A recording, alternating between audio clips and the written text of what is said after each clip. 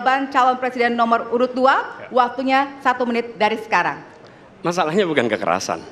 Karena ketika bicara kekerasan di Jakarta aja ada tiga pandangan. Ada yang menganggap ini terorisme, ada yang menganggap ini separatisme, ada yang menganggap ini kriminal. Di kita aja di Jakarta ada perbedaan pandangan. Apa masalah utamanya? Masalah utamanya adalah tiadanya keadilan di tanah Papua. Itu masalah utama. Oke?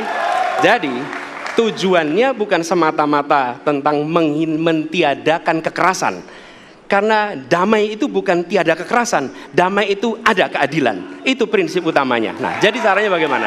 Satu, atas semua peristiwa pelanggaran HAM yang terjadi dilakukan tindakan penyelesaian hingga tuntas. Oke?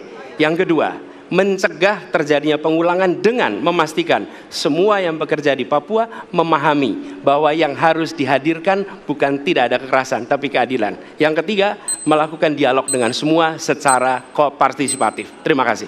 Baik, terima kasih. Terima kasih. Dan selanjutnya kami persilakan kembali kepada calon presiden nomor urut 2 untuk merespon tanggapan dari kedua calon presiden lainnya dan waktu Anda satu menit Bapak dimulai dari sekarang. Benar, saya sangat setuju. Kita harus ada pendekatan dialog. Benar, ya. Dan saya juga setuju. Harus Eh, tunggu dulu, aku mau jawab.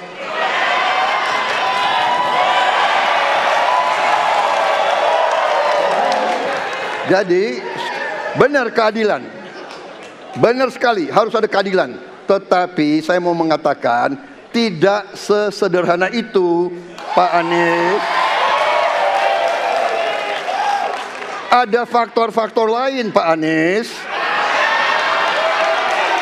Ada faktor geopolitik, ada faktor ideologi. Ini inilah yang masalahnya tidak tidak gampang, ya. Tetapi saya pendapat kita harus tegakkan keadilan. Kita harus dialog. Ini masalah bangsa. Ini harus kita semua kekuatan harus kita rangkul. Baik, waktu habis, Bapak. Waktu habis, Bapak. Terima kasih. Hadirin harap tenang.